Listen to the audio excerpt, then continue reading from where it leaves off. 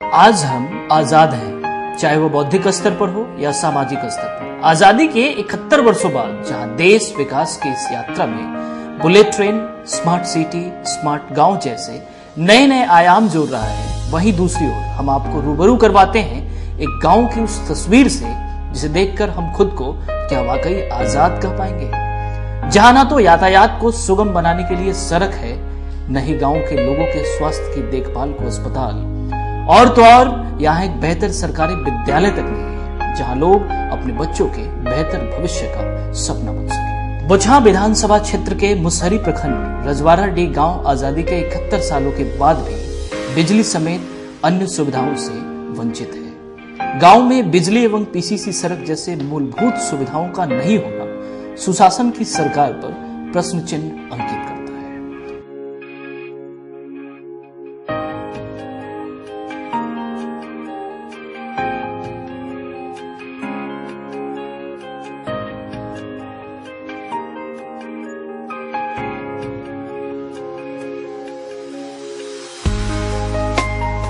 देर शाम होने पर पूरा गाँव अंधेरे के आगोश में होने को मजबूर है। सुशासन सरकार की दावे को खोखला साबित करते हुए विकास कार्यों से कोसों दूर है रजवाड़ा डी यहाँ के जनप्रतिनिधियों के उदासीन रवैये इस गाँव की कहानी को खुद ब खुद बयान करती है। इस गाँव में कुल वोटर की संख्या आठ है और यहाँ की जनसंख्या तीन हज़ार 527 घरों वाले इस गाँव में एक प्राइमरी स्कूल और एक आंगनबाड़ी केंद्र है। लेकिन हम इस गाँव की एक अलग तस्वीर आपको दिखाते हैं। ये गाँव दो हिस्सों में बटा है। आधी आबादी को नदी पार करके अपनी मंजिल पर पहुँचना पड़ता है और आधी आबादी के लिए आने जाने का रास्ता तक नहीं। है उन्हें पैदल अपने गाँव से मुख्य सड़क पर पहुँचना पड़ता है। इस गाँव की भौगोलिक स्थिति ऐसी है कि आप लोग खुद आश्चर्यचकित होंगे शहर से महज कुछ किलोमीटर पर स्थित है यह गाँव।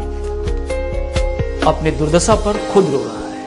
अगर इस गाँव में किसी की तबीयत खराब हो जाए या कोई महिला गर्भवती हो तो ऐसी स्थिति में पहले नाव से इसे, इनके बाद इन्हें खटिया पर लादकर प्राथमिक उपचार केंद्र मुसहरी जाना पड़ता है। सिटी न्यूज़ की टीम इस गाँव में पहुँची और सबसे पहले यहाँ चल रहे आंगनबाड़ी केंद्र का निरीक्षण किया। लेकिन आंगनबाड़ी केंद्र मानक के अनुसार नहीं दिखे इस आंगनबाड़ी केंद्र में मात्र 40 बच्चे ही पढ़ सकते हैं, जबकि गाँव में बच्चों की जनसंख्या काफ़ी अधिक है। ऐसे में यह सवाल खड़ा होता है कि बाकी बच्चों का भविष्य कौन है? इसके बाद हमारी टीम रजवाड़ा गाँव के प्राइमरी स्कूल पहुँची। यहाँ का नज़ारा देखने लायक था।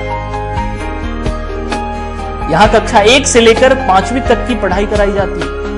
तीन कमरे वाले इस स्कूल में सिर्फ़ एक कमरे में क्लास बाकी दो कमरे में कार्यालय तथा गोदाम है। लेकिन इससे भी चौंकाने वाली बात यह है, यहाँ पर पढ़ाने वाले शिक्षिका को ये तक पता नहीं कि भारत के प्रधानमंत्री कौन है। यहाँ पांचवी तक कक्षा के बच्चे के लिए जो पढ़ाई उपलब्ध है वन से फाइव और बच्चे यहाँ के गार्जियन जागरूक नहीं है। इसकी वजह से बच्चा जो है मैक्सिमम क्योंकि समय से नहीं आ पाते हैं। इसके लिए हमको और हमारे शिक्षकों को सुबह का एक घंटा जो होता है, जिसमें सभी शिक्षक को रूटीन वाइज हम देते हैं समय कि आपको कल जाना है गार्जियन से संपर्क करना है और बच्चे को बुला के लाना है।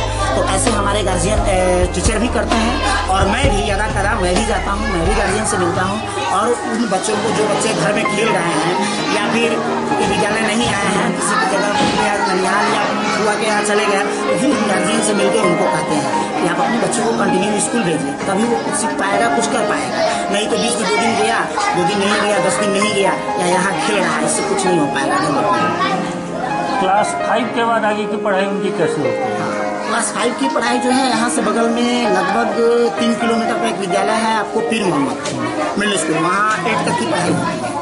वो बच्चे यहाँ से निकल के, यहाँ से निकलने के बाद वहाँ फिर मोहम्मदपुर में एडमिशन लेते हैं और वहाँ आगे की पढ़ाई होती है। जबकि वो मिडिल स्कूल नदी में कट चुका है। वो अभी कंबाइंड होकर के जो प्राइमरी स्कूल है, उसमें टैग है। और दो शिफ्ट में वो विद्यालय चलता है। एक जो है मतलब primary school one two five वो सुबह सात बजे से लेकर के ग्यारह बजे तक चलता है। और दूसरी जो है, बारह बजे से लेकर पाँच बजे तक चलता है मिडिल स्कूल कुछ बच्चे जो यहाँ स्कूल से गाँव से जो चूँकि पढ़ाई लिखाई को लेकर के सब लोग शहर की तरफ़ भागते हैं तो वो वहाँ संतुष्ट नहीं है उस स्कूल से तो वो लोग रहुआ, उसके बाद middle school B M P six यहाँ तक जाते हैं बच्चे। लेकिन ओवरऑल जो है, बच्चे को जाने आने में जो असुविधा होती है, जो बहुत सारे बच्चे ड्रॉप आउट हो जाते हैं वजह है कम्युनिकेशन जो हमारे यहाँ बरसात में भी कम्युनिकेशन खराब रास्ता कच्चा है, इसकी वजह से दिक्कत होता है और जिस समय खूब गर्मी पड़ती है, उस समय बिल्कुल धूल मिट्टी हो जाता है, जिस समय साइकिल से जाए तो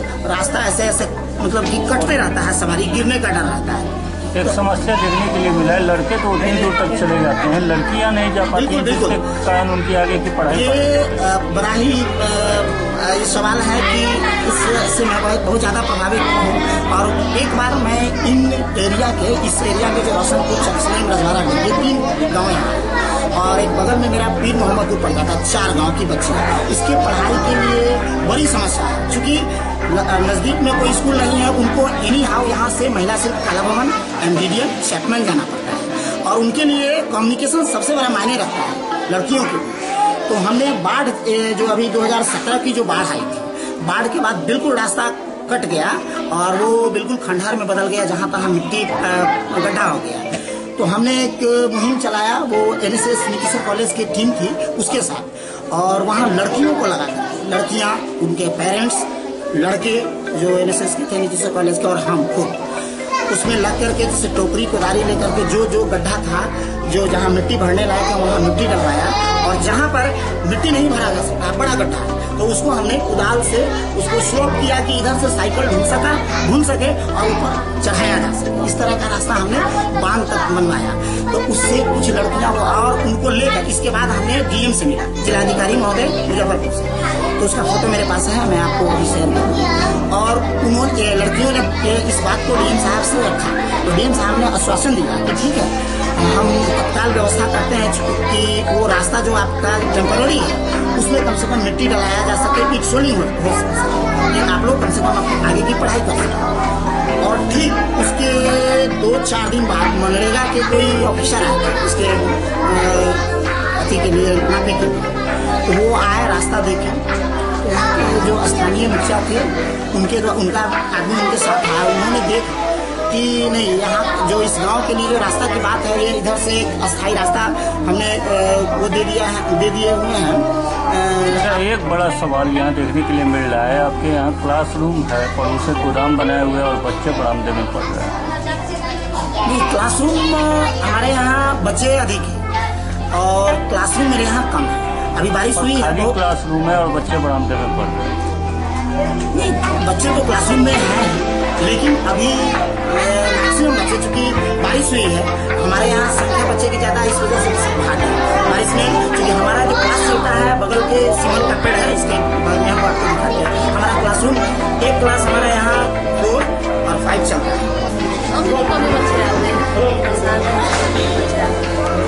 क्लास में कितने बच्चे हैं?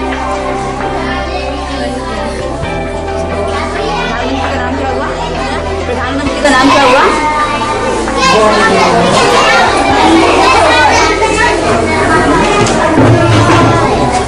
अच्छा आपका किसका नाम क्या हुआ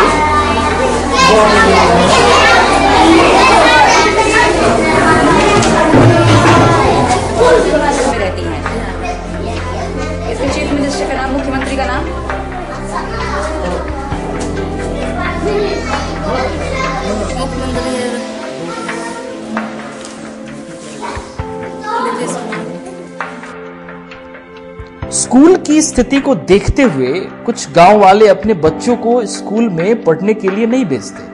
और जो जाते हैं वो बच्चे सिर्फ़ शुक्रवार को ही जाते हैं। क्योंकि शुक्रवार को खाना जो बटता है इस स्कूल का भविष्य तो अंधकार में ज़रूर है पर बच्चों का भी भविष्य अधर में लटका है। गाँव के लोगों ने बताया कि हम लोग क्या करें। ना आने जाने का रास्ता है और न ही यहाँ के स्कूल में स्थिति अच्छी है। किस क्लास में हो हाँ? फाइव फाइव में। तो फाइव वहाँ तक कौन सा क्लास का स्कूल है? फाइव उसके बाद? उसके बाद तो आप जाते हो स्कूल अभी? दिन। हाँ, कब से? बहुत दिन। बहुत दिन से नहीं जाते हो? गाँव में और कोई स्कूल है? पाँचवा क्लास से ऊपर का कोई स्कूल नहीं है। नहीं। बाकी बच्चा सब जो पाँचवा पास कर लेता है वो उसके बाद क्या करता है? जाता किस क्लास तक है इसको? पंचवा क्लास जब पास कर जाओगे उसके बाद कहाँ जाओगे पढ़ने? स्कूल है। यहाँ से कितना दूर है? मात्र दो किलोमीटर। कैसे जाओगे? साइकिल नाम नहीं लिखाते हैं। बहुत दूर स्कूल है। चलने में बहुत दिक्कत होता है। किस क्लास तक पढ़े हो तुम? फाइव में पढ़े छठा में नाम लिखाए नाम लिखवाए हो छठा में? छठा का स्कूल कहाँ पर हो गया तो यहाँ से कितना दूर है? हाँ? तो जाते हो कि नहीं? नहीं नाम क्यों? बहुत दूर है रास्ता खराब अच्छा तो इसके बाद क्या करोगे तुम? बनेगा नाम लिखाएँगे। नहीं बनेगा तो?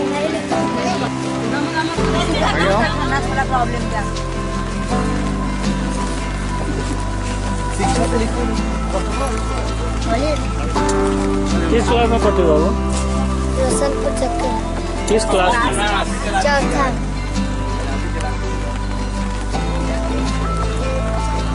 पाँचवें क्लास के बाद तुम्हारे गाँव में कोई स्कूल है जिसमें तुम पढ़ सको है कि नहीं स्कूल? आगे फिर क्या करते हो? तुम लोग कैसे पढ़ाई करते हो?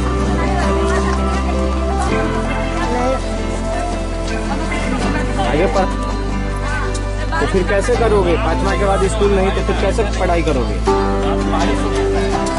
बोलो। हाँ या ना बोलो ना। बोलो। तो बहुत रास्ता पैरा की बहुत दिक्कत है। यहाँ मिडिल स्कूल नहीं है। यहाँ एक बनवाए हैं उसमें अभी बहाल नहीं हुआ है, वो आंगनबाड़ी में सेविका। यहाँ पर बाढ़ आता है तो यही है आंगनबाड़ी से भराया हुआ है। यही पर सब लोग गुजर करते हैं माल जाल बकरी छेड़ धिया पुता सबसे गाँव के लोग यहाँ पर आके रहते हैं हम लोग। यहाँ के न नौका रहता है वही पर जाने के लिए भी कोई सुविधा नहीं है एकदम निराकाल में हम लोग रह जाते हैं पड़ल आपके गाँव में रास्ता का क्या स्थिति है? रास्ता की बहुत जंजर रास्ते नहीं हम लोग के हैं। अच्छा मान लीजिए कि कोई प्रेग्नेंट लेडी है वो उनको कैसे फिर ये करते हैं? ले जाते हैं खटिया पर लाद के। बहुत दिक्कत होता हाँ, है। बहुत दिक्कत होता है खटिया पर लाद कर ले जाते हैं। बीचे में वो वेट करने की संभावना बन जाती है। शादी विवाह में बच्चों के दिक्कत होता होगा में में लड़का लोग के आने जाने में भी साइकिल से लेके आते हैं गाँव में। अब अपनी कचरा हो गया है ना वही नतीजा होगा कि अभी गोरे गोरे आना पड़ेगा। रास्ता के अभाव के कारण रास्ता नहीं है वो पेशेंट को गाड़ी पर ले जाया जा सके। यहाँ पे किसी तरह से खाट से लाद उतर करके ले जाया जाता है। जो नदी पार करके छोटी छोटी नौका से ले जाएँगे, इधर तो ले जाएँगे गाँव में चलने के लिए रास्ता बन रहा है, पर बाहर निकलने के निक- निकलने के लिए, यानी मुख्य सड़क तक ले जाने के लिए रास्ता है नहीं। अभी आपने देख रहे हैं, बारिश हो रहा है। इस बारिश के कारण काफ़ी कीचड़ हो गया है। हमने सोचे, बोझा प्रखंड में स्वास्थ्य केंद्र है, वहाँ पे इनको लेकर के इलाज कराए। तो नौका, ये ले जा रहे हैं, नौका पे पार करेंगे और उनको स्वास्थ्य केंद्र पे लेकर के इलाज करवाने। ले ले जा रहे हैं। जी। अभी जैसे पानी नहीं लगा है जब यहाँ पे पानी और जल जमाव रहता है उस समय की स्थिति क्या रहती सही काफ़ी बुरी स्थिति होता है। नौका यहाँ तक पूरे बाढ़ की बाढ़ आ जाने के कारण छोटी छोटी नौकाओं जो मलाह लोग नैया रखे रहते हैं उसी से पार होते हैं। लोग आपको ज्ञात होगा कि पिछले एक वर्ष पूर्व बाढ़ के दौरान रजवाराडीह गाँव में ही बाँध टूट गया था। उस दौरान यह गाँव पूरी तरह टापू बन गया था। यहाँ की स्थिति बद से बदतर हो गई थी। बाँध के एक वर्ष बीत जाने के बाद भी यहाँ के लोगों को अब तक मुआवजा नहीं मिला। और न ही इस बाँध की मरम्मती का कार्य अभी तक पूरा हुआ है। यहाँ पर सवाल यह उठता है कि अभी तक इस इलाके के जनप्रतिनिधि क्या कर रहे थे? इन सारे सवालों को लेकर इस गाँव के मुखिया पति शिवनाथ राय के पास पहुँचे। सबसे पहले हमारी टीम ने मुखिया जी को साथ लेकर दोबारा गाँव का निरीक्षण किया और गाँव के हर समस्याओं पर सवाल किए। जरा आप सुनिए मुखिया जी अपने आप को कैसे सही और जिला प्रशासन पर सारा टीकड़ा फोड़ते नज़र आते हैं। बहुत क्षति हुआ। लोगों का बहुत का घर भी बह गया। क्षति तो इतना हुआ कि अभी तक सरकार की तरफ़ से कोई सुविधा उपलब्ध नहीं हुआ। सरकार ने छः हज़ार रुपया का घोषणा किया। हमारे पंचायत को छब्बीस सौ पर काउंट किया। जी छब्बीस सौ को छः हज़ार का राहत मिलेगा। छब्बीस सौ में, अरे, तेईस सौ कुछ आदमियों को मिला। अभी तीन सौ से ऊपर आदमी वंचित रह गए जिनको छः हज़ार रुपया का भुगतान बार बार प्रेशर दिया गया बार बार जैसे अंचलाधिकारी को कहा गया। लेकिन अब करते हैं तब करते हैं। करते करते रह गए। किसी का कहते हैं जो पैसा ट्रांसफ़र होकर दूसरे जगह चला गया तीसरे जगह चला गया लेकिन अभी तक पैसा सबके खाते में नहीं गया करीब करीब तीन सौ आदमी वंचित साढ़े तीन सौ आदमी वंचित अच्छा एक साल बीत जाने के बाद बाँध का निर्माण हुआ या नहीं बाँध का निर्माण कंप्लीट नहीं हुआ है लेकिन वैकल्पिक व्यवस्था वैकल्पिक व्यवस्था जो है सरकार कर रही है दूसरा बाँध बाँध दिया गया है और बाँध ओरिजिनल पुल का जो काम चल रहा है वह पुल का काम ढलाई का काम कंप्लीट हो गया मिट्टी ऊपर से डालना है। यानी पंद्रह दिन बीस दिन में लगता है कि वो कंप्लीट हो जाएगा। अच्छा आपके पंचायत में रजवाड़ा डी नामक एक गाँव है। हाँ। उसमें आज भी बुनियादी सुविधा से लोग महरूम हैं। क्या वजह है? वहाँ रास्ता नहीं।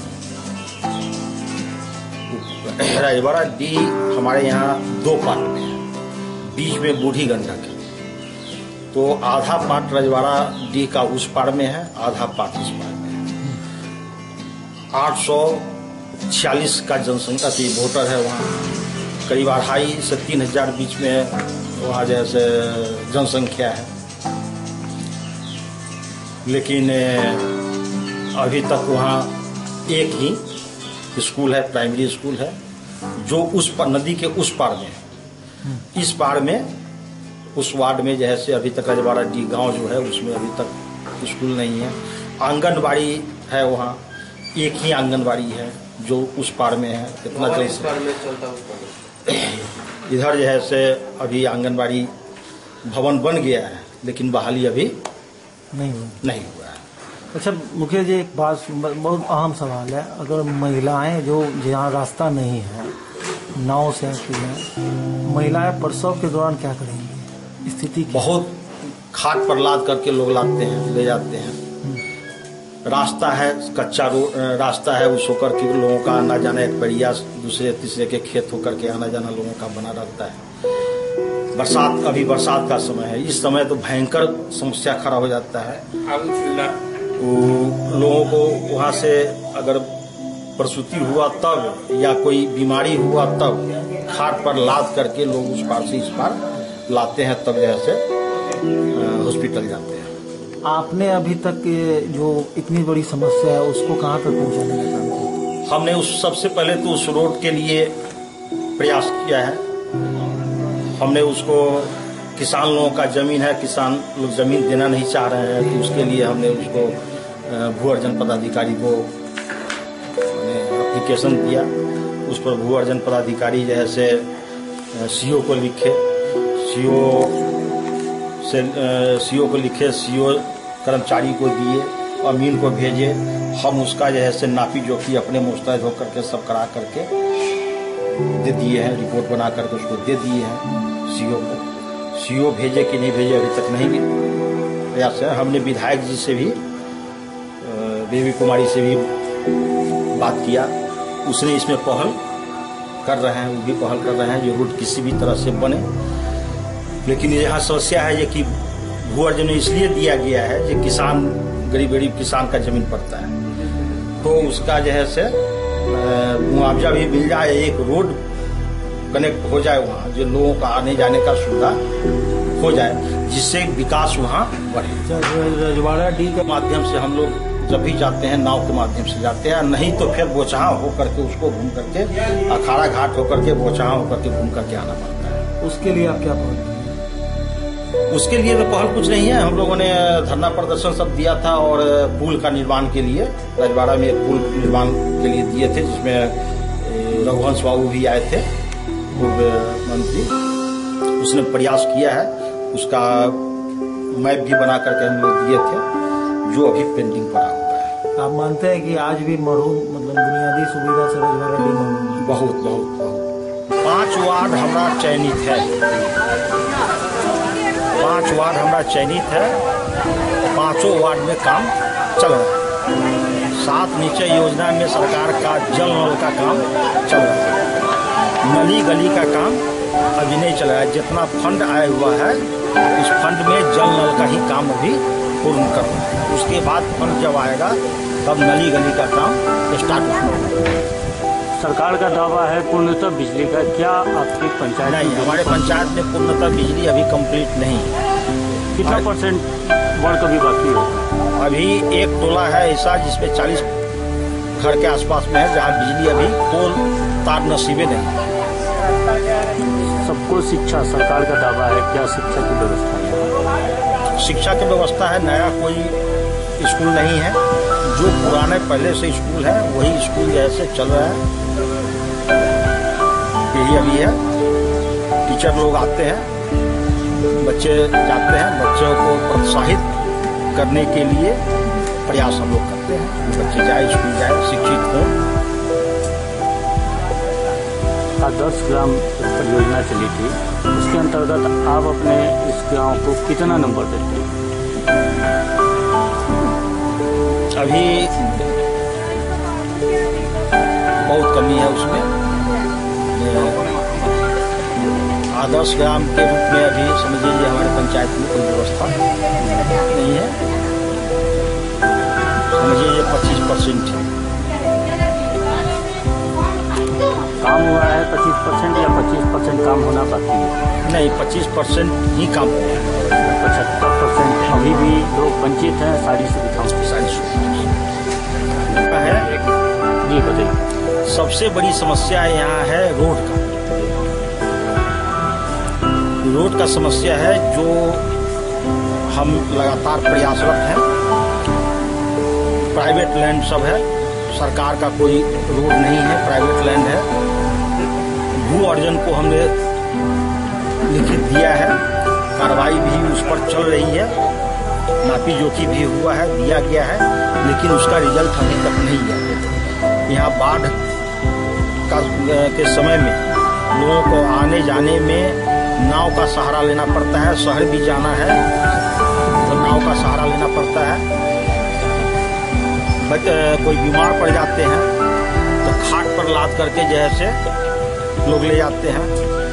नाव भी उपलब्ध नहीं हो पाता है, कोई सवारी नहीं आती है यहाँ। इस गाँव में जाने का मात्र एक साधन है यह पुल।